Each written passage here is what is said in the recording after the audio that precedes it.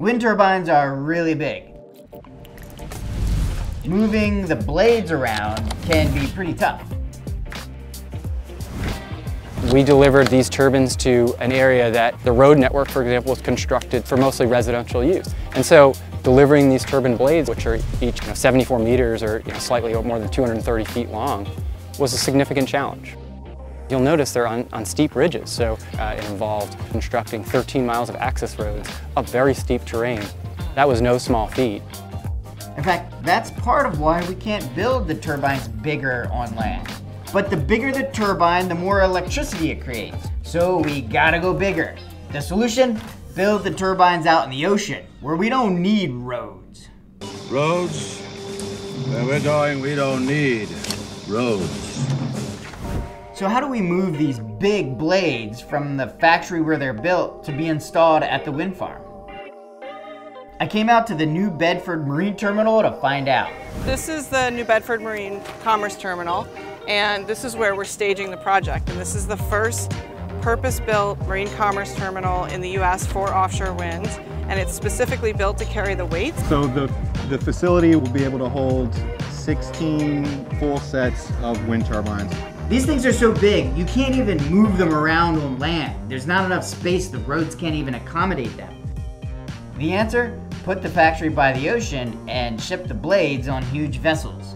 So they're built by the ocean, they're shipped on the ocean, and they're unloaded by the ocean. They never leave the ocean. They're too big, you can't take them anywhere.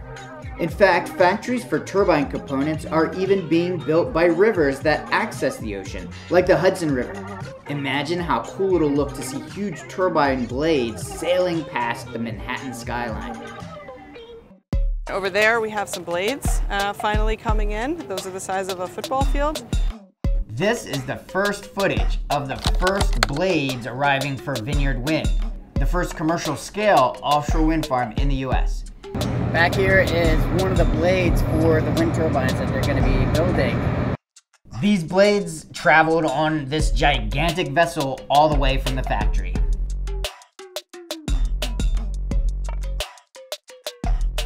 It's essentially going to be a wall of blades sitting over here. Each diameter around is seven meters, and they're going to be stacked three on top of each other, standing 21 meters tall. The last component for this first wind turbine to arrive is called the nacelle. The nacelle itself is 800 metric tons. This is the big generator that the blades are attached to to spin. It's the size of a big office building.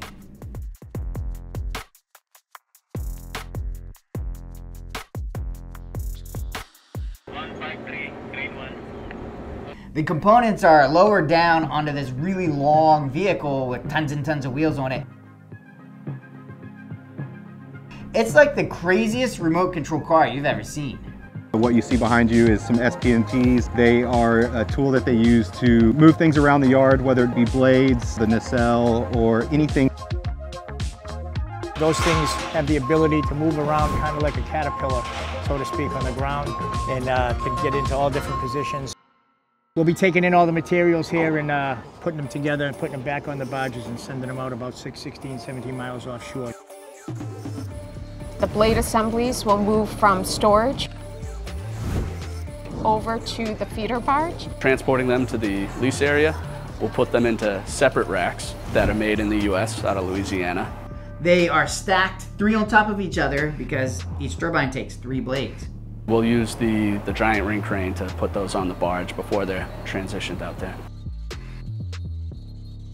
And then the nacelle is pulled out of the storage area and then also pulled over to the feeder barge for loading. The ring crane, you know, it has to maintain at least a 60% capacity above its heaviest lift.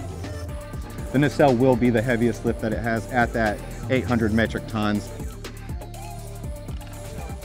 And of course, the guy behind me can certainly pick that thing up.